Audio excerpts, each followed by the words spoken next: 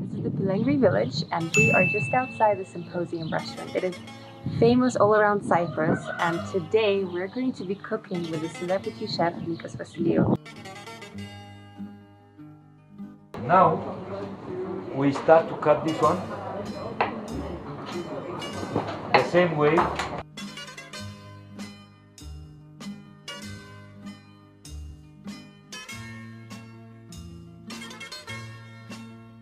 we close the, the, the bottom with potatoes okay?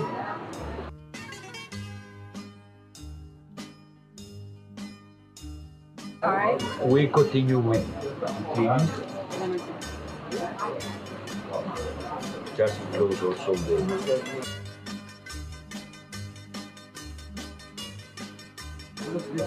we put uh, yes eggplant the same way to close all the holes in the middle.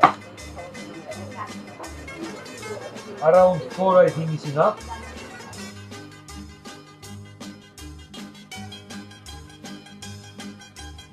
Okay. Alright, and then? potatoes again.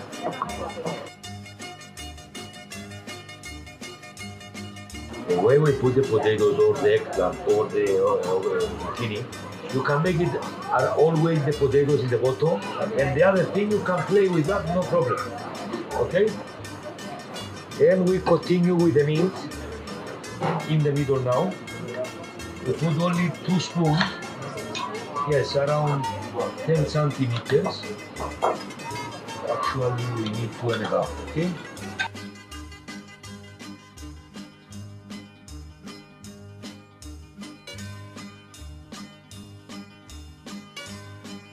You must do that, we make one. Yes. No six, six. Yes, you said I had. We need to, you, you know what did she say? No, no, no, no, no. So in America we have a saying. That is, get your head out of the gutter.